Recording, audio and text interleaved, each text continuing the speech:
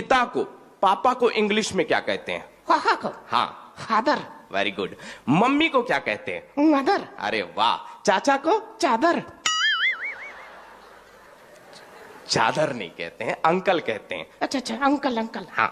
और चाचा की वाइफ को? एंटीना एंटीना नहीं आंटी अच्छा अच्छा अच्छा सॉरी सॉरी आंटी हाँ।